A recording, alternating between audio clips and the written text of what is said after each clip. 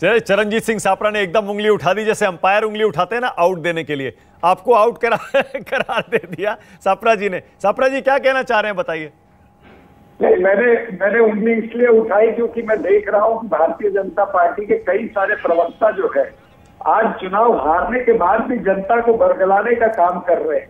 जिस तरह से इन्होंने वोट शेयर की बात की है। अगर आप टोटलिटी में वोट शेयर देखें तो निश्चित रूप से जो ये कह रहे हैं कि प्रतिशत वोट शेयर जो है वो भारतीय जनता पार्टी का कम हुआ है।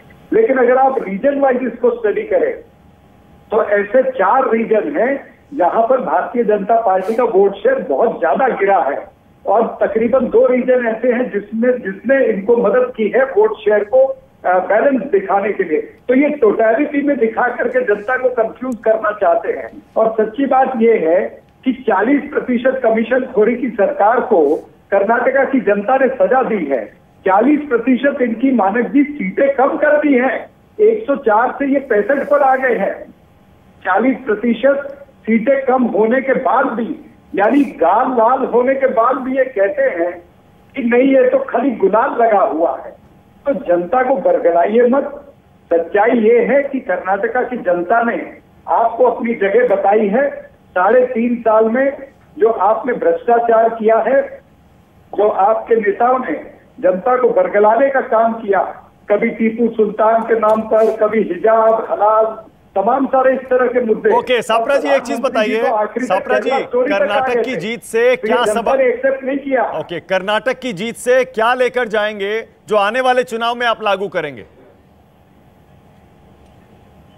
देखिए कर्नाटक की जीत जो है वो बहुत सारी चीज़ें कहती है।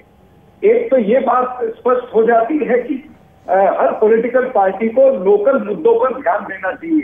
Congress party vocal for local थी, यानी लोकल मुद्दे जो थे, चाहे वो बेरोजगारी का मुद्दा हो, महँगाई का मुद्दा हो, किसानों की समस्या का मुद्दा हो, या तमाम सारे रीजन के जो अलग अलग रीजन के अलग अलग मुद्दे हो, उसके ऊपर हमने प्रचार किया, जनता ने हमको वोट दिया।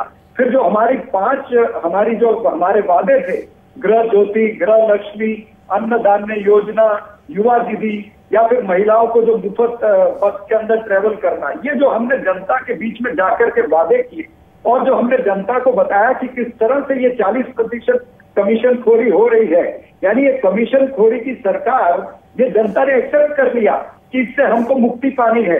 तो कांग्रेस पार्टी ने लोकल मुद्दों पर हमने अपना ध्यान केंद्रित किया और बीजेपी के गली से लेकर के दिल्ली के नेता जो है वो बरगलाने का काम कर रहे थे ध्यान भटकाने का ओके काम कर रहे थे गु, गु, गुरु प्रकाश कर रहे थे जो जनता ने रिजेक्ट किया। ओके गुरु प्रकाश क्या आप अब अपने अगले आने वाले चुनाव के प्रचार में कुछ बदलाव करेंगे? राष्ट्रवाद हिंदुत्व